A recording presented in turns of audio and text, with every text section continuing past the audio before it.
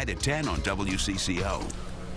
You know, Mike and I take turns each week bringing you Finding Minnesota reports. Yeah, we've had a lot of fun stories over the years, but today I'm bringing you the worst.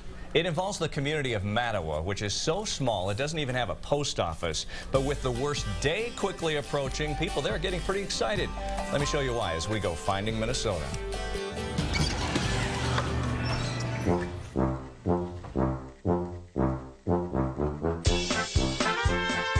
When you meet Tom Bislow at his mustard-colored store, get ready for the worst jokes. Oh, you've never sausage a place. He has the worst decorations, the worst weather station.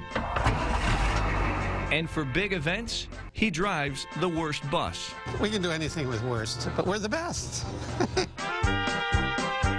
His business, TJ's Country Corner, sells more than 30,000 pounds of wurst each year, sausages, brats, and jerky. Now he's getting ready for the Brat Trot and Teeny Weeny Run as part of Wurst Day. Just a fun day. We have the worst band. It's a three-piece band that plays polka music. Wurst Day also attracts some of the best eaters. Local farmer Mike Salzer is the reigning champ of sausage eating in Mahtowa. He's competed three times, and he's not been beaten yet. You ready for this? You're going down. I've eaten eight and three quarter buns and sausages in five minutes. Some of his challenges are easier than others. All right, let's do it.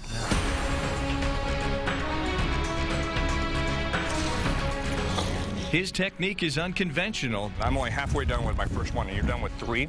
Trophies of his don't lie.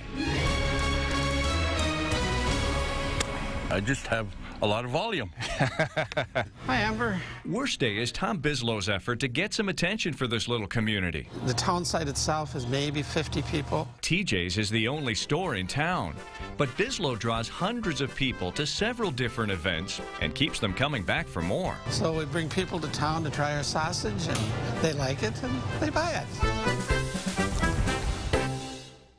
Is it over? it's over. I just want to let you know, in the time it took me to eat just one hot dog, the, the champ there ate five big sausages. And it looked like it he, he was soaking the bun. He was getting it With wet. water. Yeah, he's down, so he wouldn't have dry mouth, so it could work faster. He was also breaking up the, uh, the sausages here. That, that's his technique, and apparently it's allowed uh, there in the rules. But uh, yeah, he's going to be going for his fourth straight title uh, this Saturday in Mahtowa. If you'd like to check out the worst website, we have a link to it at wcco.com slash links. Good lunchtime fare there, wouldn't you say? You're proud of yourself. I'll have a salad. I think I, I'll have I, salad. I tried, at least. Well, yeah, you did. You put in a good effort. Yeah.